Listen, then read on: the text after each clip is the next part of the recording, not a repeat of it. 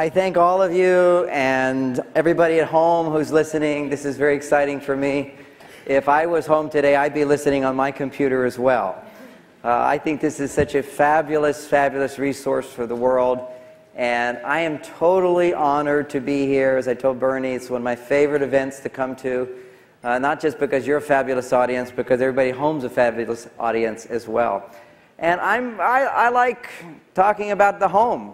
Uh, I, as an entrepreneur, as a successful businessman myself, I would attribute 50% of my success to the support I get at home. And any successful person will say that, at least at some period in their life. what happens for a lot of people in their relationships is that they start out and they're a team working together, and the one who's out there has the vision of what the company is going to be and how it can expand.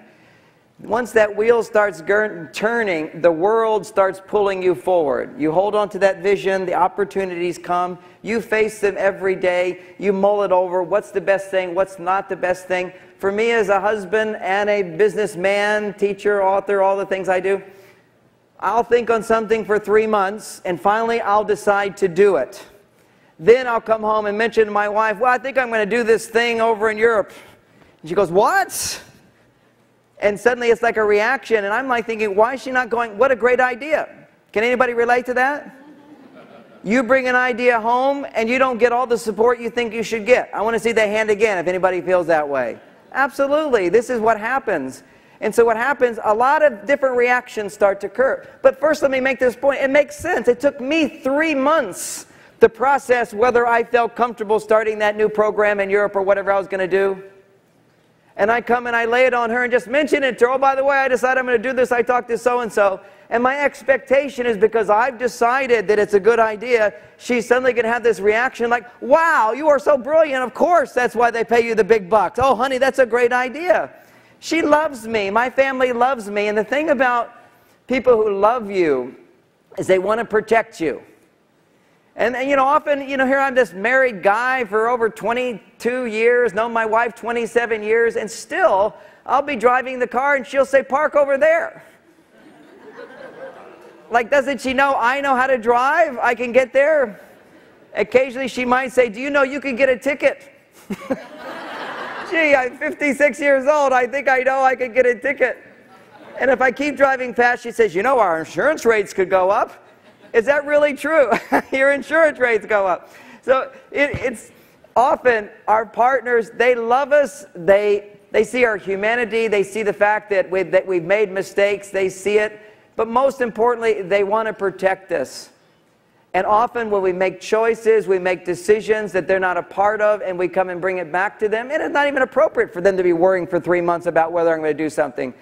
But when I bring it home, I need to understand and allow for resistance. I hope one of the things you'll uh, get today in my talk is to allow for resistance from the people you love. Because if you can allow for resistance, let's do a little resistance exercise here. I'll walk down here. Who wants to do this with me? Okay, so you're resisting me, and I'm not allowing for resistance, so what happens? More resistance, more resistance. Now let's all turn to somebody. Just put your arm out and don't allow for resistance. I just want you to experience this. Remember to somebody. Turn,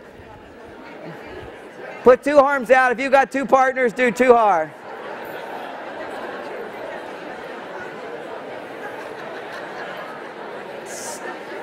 A, a simple concept. But if you don't allow for resistance, you just get, oh, there she did it. Okay, let's do that again. So I'm going to push and she's going to well, you're being, you're such a supportive wife. That was great. She just said, go right ahead, honey. but here's the case where I'm pushing and you resist. Resist a little. You're resisting me. It's like, hey, you're making a decision, but I want to protect you. I don't know if we can do this. And I just go like that for a while. No resistance. It goes away. Put forth your ideas with your partner and allow for resistance. If you allow for their resistance, then you enlist them on your team. They need to be heard just as much as we need to be heard. They need to be included into our life just as much as we want the world to be included into our businesses. It's the same thing. I want everybody in the world to read my books. Mar- Men are from Mars, Women are from Venus, around the world. Best selling book all around the world. Everywhere. Over 50 million Mars Venus books. I consider that a readership of 100 million since you have to share it with somebody. So there you go. But all those people, that was a big vision. I want to hold, I held that vision. I have more, more people coming in, more books to sell. Let it go out. Let these good ideas go out. It's a big, big vision. So I'm married to a wife, and she has a big vision too. I love my husband. I want to see him more often. Just as I want more people to see me, she wants to see me more often. So if I've got my vision and she's got her vision, what are we doing there? Resi- oh, there you go. Just resist me, resist me. If I notice resistance, I just need to take it as flattery. She wants more time with me. That's great. Let me take more time with her. Let me give her what she needs. We always, as human beings, are acutely aware of what we need or what we're not getting, and that's experienced as frustration. Anyone ever experienced some frustration communicating at home? So you may not think of that frustration as being, I'm not getting what I need. We often think of it as, what's your problem? or don't you understand? Or why can't you see my perspective? Or let's look at this differently. We resist, resist, resist. We don't realize in that moment, I'm not getting what I need. And that's what resistance comes from.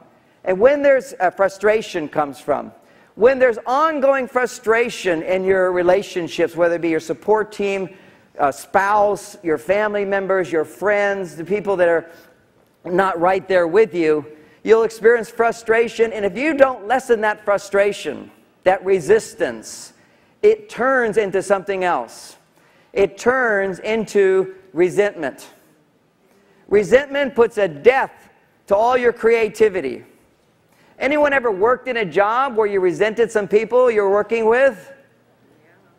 Not as many here, that's because you're high achievers. But I promise you, there's people back at home that might resent your success or the sacrifices they have to make for your success.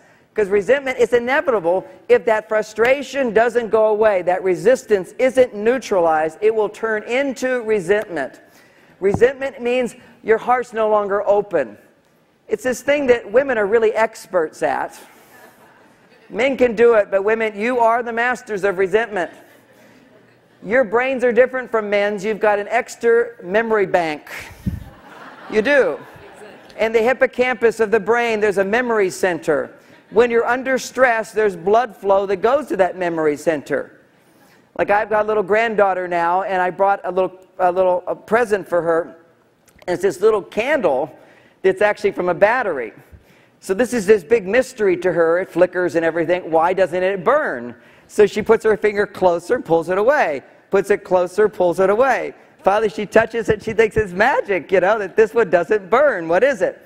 That's because her brain put her finger in fire or close to fire and burned, and the brain has to remember stressful experiences. The more stressful experience, the more clearly we're going to remember it. Unless it's too painful, then we block it out completely. So there's this memory. When men and women are under stress, and this is the theme of my new book, Why Mars and Venus Collide, understanding why there's this collision. One of the reasons we misinterpret each other is that men and women react differently to stress. What we want to do to create and to enlist the support of the people that support us in our endeavors and to bring fulfillment into our life, to create harmony rather than resistance and resentment, which eventually, turns into rejection. And I make jokes about with all my some of my friends who are very wealthy speakers. I say, "Yeah, I have more money than you, not because you I made more money. It's just I was able to keep my money because I'm not divorced." Divorce is very expensive today, not just financially, but emotionally. It just takes so much energy. People put so much energy into divorce and the problems in the relationships as a marriage counselor for over 35 years, counseling people. The things people get counsel about are the stupidest things in the world. And I wouldn't say that to them, but I'm sort of generalizing here. But they'll be the littlest things. We were just uh, in Santa's factory the other day, making all my my corporate friends and associates every year I will send presents off to, and it's a big, long list, a lot of people. My wife shops all year round. we just go, our vacations, we just shop for potential Christmas presents at the end of the year. So we have the, the wrapping factory, and we've got all the corporate presents, and it's all there. And we've got the list, and we're going down the list. And we were just down in Ecuador. Ecuador, you buy these beautiful shawls for like a dollar. And there was this, one of the things in there was this beautiful shawl, blue shawl. And I wanted it for my sister. I'm looking at it and I go, that'd be good for my sister. And my wife says, No, we're not doing presents for your family right now. These are corporate presents only.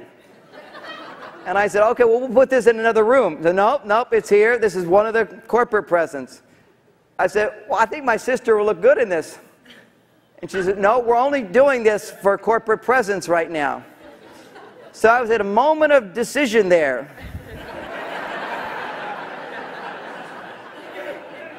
I'm a smart guy. I want my wife happier. My sister can go without this shawl.